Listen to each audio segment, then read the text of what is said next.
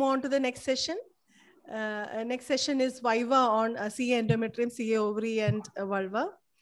Uh, let me just share the screen.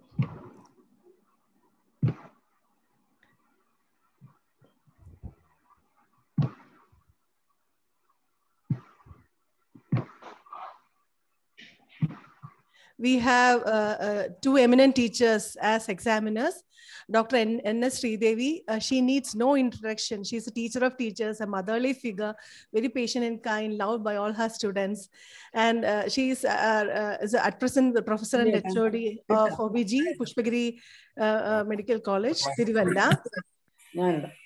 Uh, thanks for reminding that uh, hormone therapy. There is some disturb. Oh.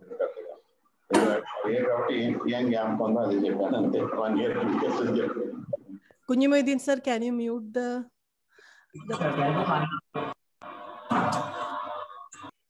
Hello. Yes. Uh, uh, uh, uh, next uh, examiner is Dr. Lalitambika Madam. Uh, she is an all-rounder, excellent clinician, academician, surgeon, administrator. She is an eminent PG teacher, and uh, she is now the professor and HOD of Department of OBG, Government Medical College, Alappuzha. She is also pre- president Alappuzha OBG Society and past president of KFCO, KFOG. As students, we have uh, Dr. Purnima from SAT Hospital, uh, Government Medical College, Trivandrum, Dr. Ansia Mohammed, Government Medical College, Alapi, and Dr. Dr. Marin Merriam, IMCH Calicut. Over to you, madams.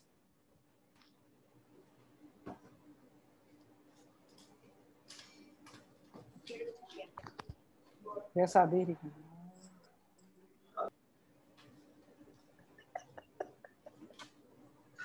Hello, is madam ready today, madam? Hello, can you hear me? Yes, madam. Yes, a very good evening to all of you. First of all, let me thank the organizers, the Perinthalmanna OBG Society, the Kunjumaideen, Dr. Kunjumaideen and team for having given this opportunity. And it is going from, it started yesterday, going for long hours and uh, wonderful teaching program. So the task given to us, myself and Dr. Lalitambika, uh, are to conduct a Viva Voce and the topics given are three. Carcinoma endometrium, carcinoma ovary and carcinoma vulva. Endometrial malignancy had been already discussed widely and probably the students also will be able to answer everything uh, because of this teaching program ahead of the Viva Voce. Okay, so we will start with, hello, let me share the screen.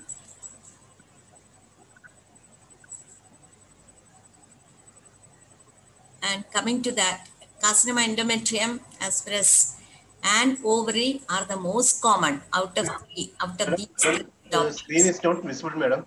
Yeah, it is, it is not open, my dear. Let me try.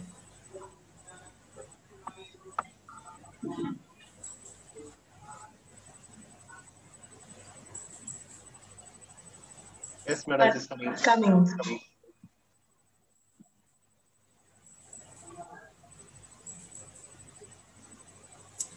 And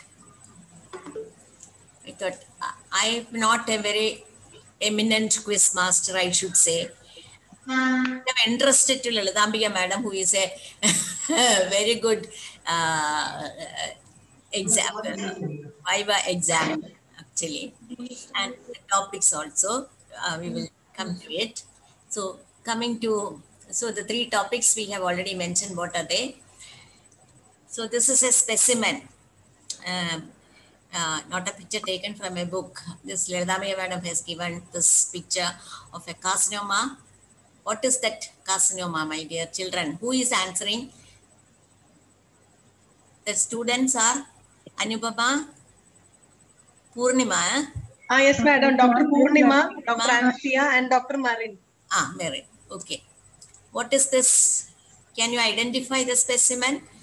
And here we are dealing with malignancy only. So if that, no other diagnosis should come in between. C Is it endometrium. uh, uterus, ovary, or vulva? Uterus. It is uterus, correct? Uterus. Who told? Yes, madam. Ah, it is uterus. What is the problem? Regarding the presentation here or the Viva is on? Giving hints. C endometrium. Ah, C endometrium. C endometrium, you're seeing the uterus. So it is a carcinoma endometrium. What is the gold standard procedure for confirming diagnosis in suspected cases of carcinoma endometrium? I have changed all my questions after the lecture. You have to be louder, my dear. We can't hear you. We can't hear you properly. Gold standard for confirming diagnosis in HPR. Histopathological uh, report following uh, Report means you are getting the sample. How do you? procedure. Procedure is hysteroscopic dilatation curettage, madam. Histoscope.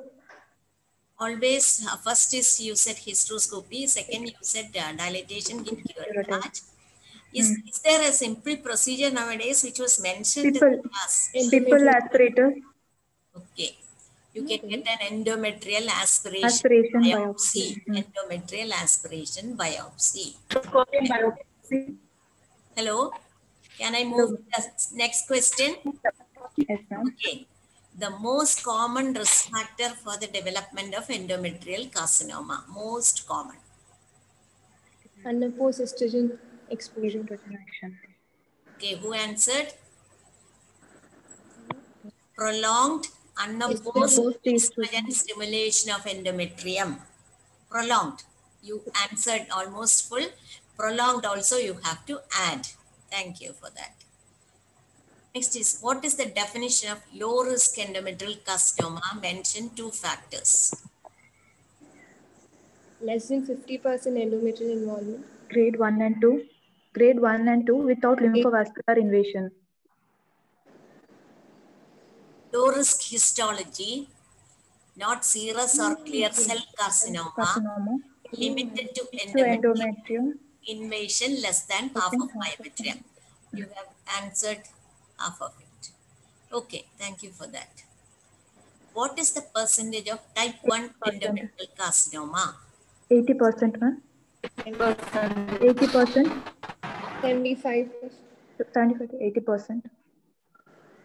75 to 85%. That is the latest report. 75 to 85%. Good. Congrats for you. What percentage of patients with atypical endometrial complex hyperplasia progress to carcinoma? 27 percentage. 29%.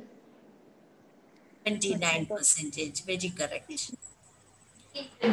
Is routine screening for endometrial carcinoma justified in all women? No, no, No.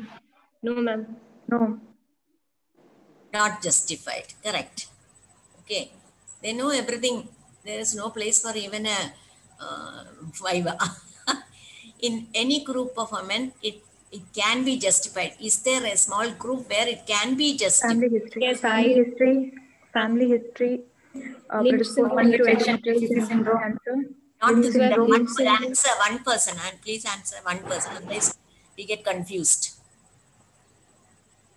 Those who, women with high risk family with Lynch 2 syndrome.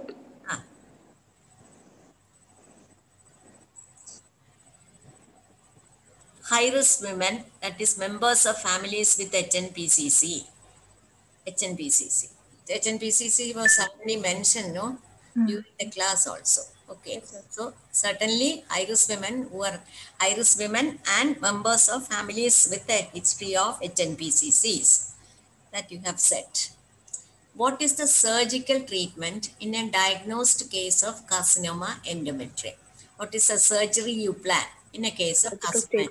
Staging, staging. Extrafascial hysterectomy with bilateral salpingo-oophorectomy. Pardon you, I couldn't hear the first part. Surgical staging with the extrafascial hysterectomy and uh, bilateral salpingo-oophorectomy, ma'am. bilateral salpingo-oophorectomy. Most common current protocol is laparotomy, peritoneal cytology. First you take washings, no? Then you inspect all the organs. Then you proceed to total hysterectomy, bilateral salpingo, oophorectomy, plus surgical staging. That is a very important point. Surgical staging. That is, you have to stage the disease. After taking out the specimen, will you cut open the specimen? Yes, ma'am. Why? To see the depth, depth of myometrial invasion Ah. and to find out the location. To know the uh, size of the tumor. Size of the tumor, location, invasion, plus anything more? Yes, no, sir. Ah, sir has mentioned this, no? Cervical involvement. Extension to the cervix. Is it possible to perform sentinel lymphadenectomy along with these things? Along with Yes. this? Yes, madam. Yes, madam. Yes. Yes. How? What is the procedure? This is not routinely done. This I put just for your information. That is all. That is injecting indocyanine green and fluorescence imaging in women with stage 1 endometrial cancers of all histological all histologies and grades that is the method that uh, the mm, chemical used is indocyanine green and fluorescent imaging in women with stage 1 endometrial cancer of all histologies and grades you can this is a case where she's a 32 year old nulliparous lady married three years having atypical endometrial hyperplasia on evaluation for heavy menstrual bleeding. She is very anxious to conceive. Is there any option for her? Can you treat her and can she have a pregnancy? If you treat, if you are going to treat her, how? You can give a uh, progestin therapy. Specific. There are so many progestins are there. Just Uh, now, acetate, you can give megestrol acetate 80 milligram BD or what, what, what? Ma- megestrol acetate, Ah. we can give 80 milligram BD uh, since it's atypical hyperplasia 160 milligram until you get reversal. So after you started, you have to uh, do a biopsy after three months. Till you get reversal means how long are you going to give? That means when you're starting the drug, you have to counsel the lady properly. How long sir. you have to take all this? She's very anxious. So you have to advise them regarding the duration of treatment also. So how long? You can, uh, for six, uh, for three to, uh, Three to six months. answered by a sir also during the for six months, ma'am. Uh, you do a biopsy after three months continuous progestin therapy with megestrol acetate 40 to 160 milligram per day for three to six months. Most reliable and it is uh, reversal is also reliable. That is how you can treat her. That was mentioned in the previous discussion. Okay, good that you have answered the drug dosage three to six months, they are saying. And after that, you can further evaluate her also. What are the important predictors for vaginal relapse in a stage 1 endometrial cancer? Predictors. There's lymph- there's lymphovascular space involvement. Lower uterine segment involvement. Uh, older age, histology and types.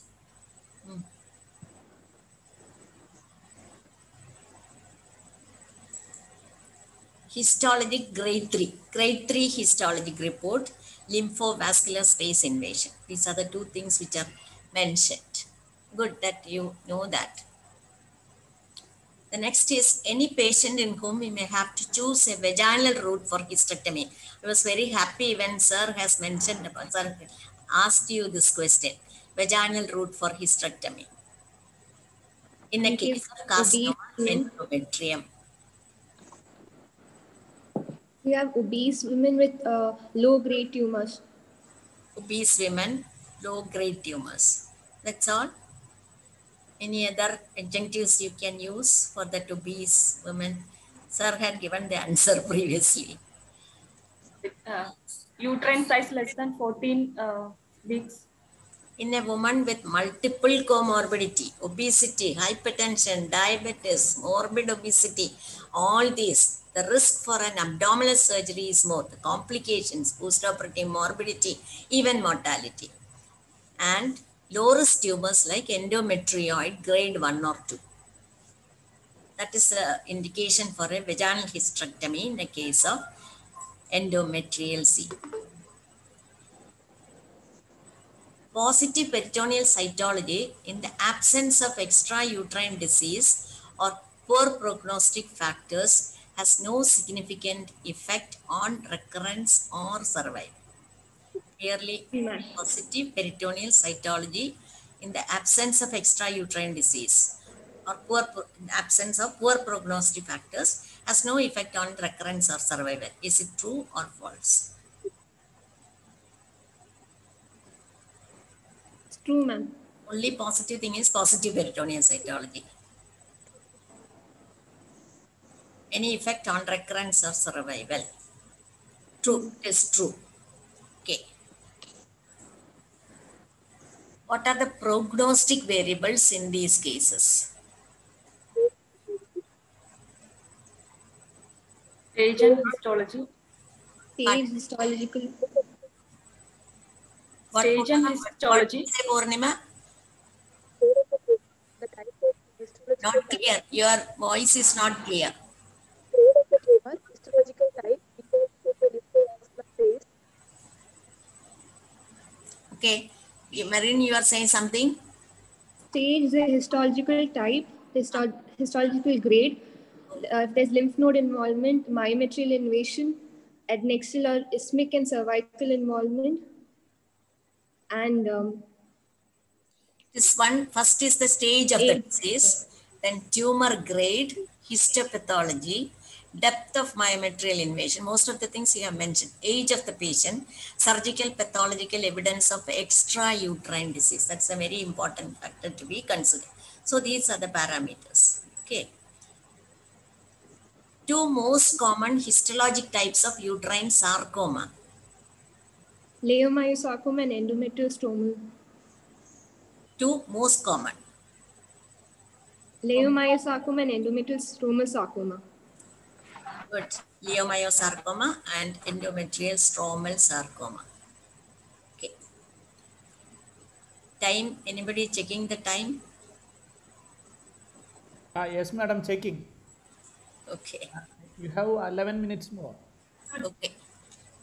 Minutes Then. I'll skip some slides so that uh, Lalitambika can start. Carcinoma vulva, one question.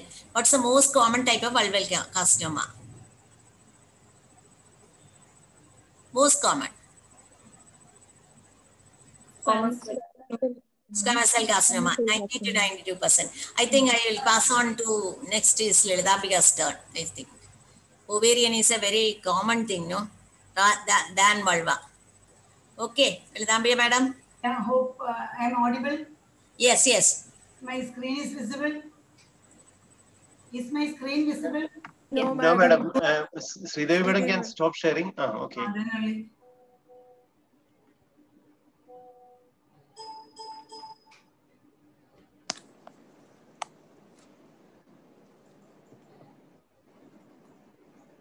My screen visible now? No, madam. Then I think uh, they have to, uh, then maybe they have muted it. I have shared the screen. Ah, now we now we can see. Okay.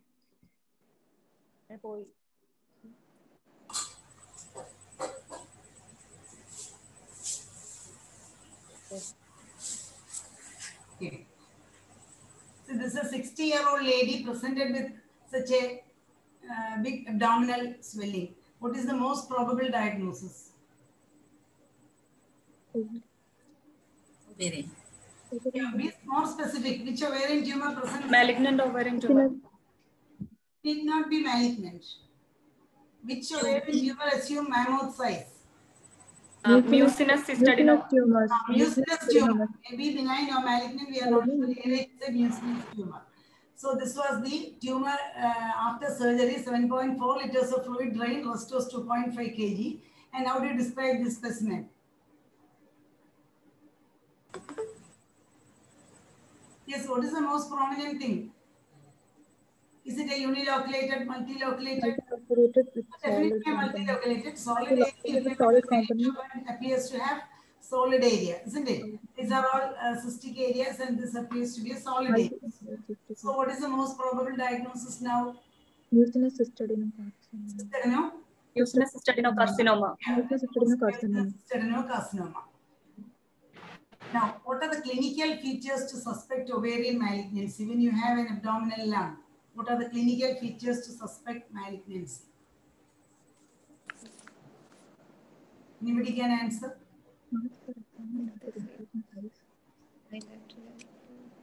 Clinical features to suspect malignancy. Clinical, not ultrasound. Age of the patient. Age of the patient. Rapid in, uh, uh, loss of rapid increase in the abdominal size, abdom- complaints of abdominal distension with um, blotting and um, What is the term that you use? Early loss of satiety. satiety, early satiety, early satiety, Early satiety, vague, vague symptoms, sensation, uh, dull aching, pain, indigestion, nausea, vomiting, constipation. After that, what else? So premenopausal, you have only seven percent malignant. Postmenopausal, more. So age is an important factor. Then comes family history, isn't it? Then loss of faith satiety that you have already told. Then presence of an abdominal lump, ascites, omental cake, varying mass of varying consistency, not freely mobile, nodularity in pouch of Douglas. All these are clinical features to suspect malignancy. This you should be able to tell all these together if you ask such a question. Next is a 65 year old woman presenting with abdominal pain. She had hysterectomy earlier. Now ultrasound shows a lesion of 10 centimeters in the pelvis. What are the ultrasound findings you should you would like to have? What all things you will look for? uh, uh, whether it is bilateral cyst, Oh, yeah. uniloculated or multiloculated, uh, the presence of vascularity, Uh, is there solid any area, vascularity, Before doctor, no, no, don't come. You come to the B mode findings. One is unilocular, multiloculated. Then solid areas. are- Solid no, no, that is very important. Then third. Septation. Then uh, vascularity, Thick No, wall, no, thick before septum. Doppler, before Doppler, you look at the thickness of the septum, septations, papillary projections. Then you go to Papillary projections. Okay, so you give the answer as Abibullah sir has already told you should go in a in a progressive manner, the way in which you do it actually. When you do the ultrasound, this is the way in which you look at it. So papillary projections, size of the papillary projection, septal thickness, vascularity, PIRI, then come to ascites, then go for other deposits like uh, in the peritoneum, omentum, omental cakes, etc. So this was the ultrasound picture. So what is your comment on this picture? contains both uh, cystic and solid areas. Yeah. septations, thick Uh, septations, papillary projections are the Uh, uh, papillary projection is the thick septation is the thick septations are probably it is malignant. malignancy, possibly uh, multiloso when you see cystadenocarcinoma, it's a malignant ovarian tumor. All carcinoma. B mode findings are there. Then if you go to Doppler, what are the findings you expect in this patient? Less than, less than, I mean, 0.4 of High Doppler signal color score of four, uh, four For PA and RI, P, uh, uh, RA RI less than 0.4 0.4. to 0.8 and PA less than 1 less than 1 or 0.8 some books. So PA and RI will be low. Low. Can you say why PA and RI are low in malignant tumors compared to benign? Why Because of neovascularization, there's increased blood because flow. uh, neovascularization is a uh, characteristic feature of malignant uh, tumor. Yes. Then why PA and RI are low? Resistance. Low resistance because of increased Low resistant flow, Why the newly formed vessels are devoid of muscularis. They don't have a proper muscularis. So the resistance will be very low. That is the that is why it's a feature of malignancy. So diagnosis already you have mentioned mucinous cystadenocarcinoma. Now what are the tumor markers for epithelial tumors? And what is the importance of each of these markers? CA 125, CEA, CA 125, HE4, HE4, CA 99 and CA. Now, what is the importance of each one of this? What do you know about the 125. 125? CA 125 is a non-specific. 125 elevated in epithelial ovarian cancer and it is important in uh, prognosis. Uh, If it's elevated before surgery, uh, we, we can can be for used prognosis. for- CA, okay. CA 125 is more specific than CA 99 and CA, but HE4 is More specific. more specific. More specific. More specific. What percentage of uh, women with uh, epithelial tumors stage 1 will have CA 125 positive?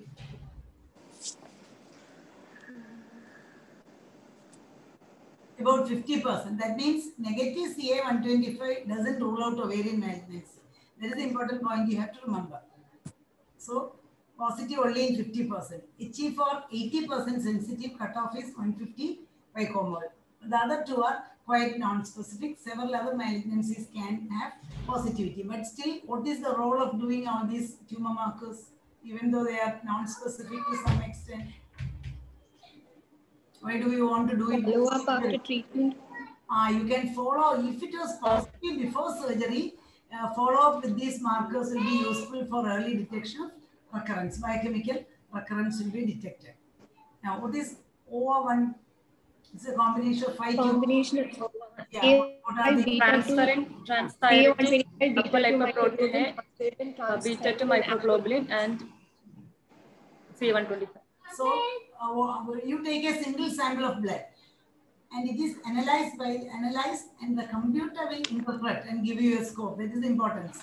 And so it will give a score of 0 to 10. Based on that, you will know whether it is benign or malignant. What are the other investigations now you would like to do in that patient whom you have seen uh, uh, clinically and sonologically suspected uh, ovarian malignancy? First is the general investigations, madam. First, general investigations, divide again investigations into two. One is for the diagnosis. diagnosis, and one for the malignancy. No, no, diagnosis. And the other is to make the patient before surgery, leave it. Surgery. For the diagnosis and the extent of disease. These are the two things. Diagnosis, you are almost sure. Now you want to know the extent of disease. What are the two investigations? MRI, MRI and CT. MRI abdomen pelvis. Ah, what is uh, the use of MRI? Which To know aspect? the Uh, delineated? ovarian MRI mass can characterize the the ovarian tumor, uh, Ovarian ovarian ma- neoplasm better, aspect. better delineation of the tumor, uh, and CT uh, for uh, Abdominal nodal and metastasis and uh, uh, other Lymph uh, node assessment abdominal organ involvement. Yes, that is the That, uh, CT is to assess the exact uh, anatomical extent of the disease. So CT will give you more information about outside tumor factors, whereas MRI will give you more information on tumor Ovarian mass. So that is the difference you should know, and you should decide which patient requires which, depending upon the uh, your ultrasound and clinical features. Now, how will you assess when you find that you, uh, ultrasound shows you an ovarian lesion? How will you assess the risk of malignancy in this, or clinically or by ultrasound? There's a mass in the ovary. RMI. What are the Risk various malignancy. measures to assess Risk of this? malignancy. Risk malignancy, Risk malignancy index, index, I- RMI, RMI, Itemized aroma, What is RMI? And Roma, Roma, Roca, Roma, Roma, Roca, Iota, outer group of Iota group of ultrasound. These are various methods. Which is the most simple one which you can routinely use? Rama, RMI, you can RMI. use. Iota you can use. Isn't it? What is RMI? risk risk of malignancy index. Uh, use CA125, ultrasound score plus menopausal status, and the ultrasound features. So risk of malignancy index is calculated by multiplying. The menopausal or the Ultrasound perimenopausal features, status, the CA125 values, and the ultrasound features. CA125. Features. Uh, How is uh, menopausal status given score? Menopause- premenopausal score of three, and premenopausal one. Then ultrasound score, how is the ultrasound score given? Uh, One- ultrasound one score feature one is for like one one- and three for score. More You will be looking at all these five five. features. And if there is none of these features are present, you will give a score of zero. If one feature present, you will give a score of one. Uh, more, two or more than five are present, you will give a score of three. So this is a simple method which you can apply in all patients. So RMA less than 25. More minutes. How many minutes? Five, five minutes more, madam. Okay, okay. So when it is time is over, you tell me I'll stop at that point. So RMI, uh, based on the calculated RMI, you will assess the risk. Then IOTA group, what are the ultrasound rules? What are the ultrasound rules for benign and malignant?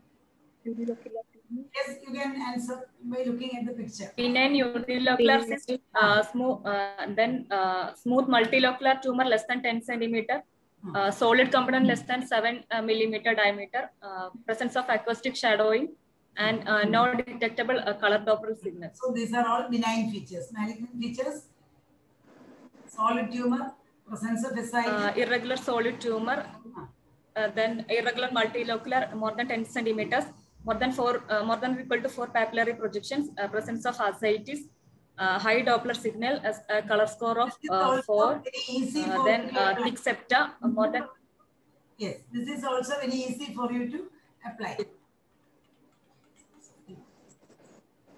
So Roka also will skip. Coming to the management, what is the management of ovarian cancer, epithelial ovarian cancer? How do you manage? After having evaluated and staged the disease, how will you manage?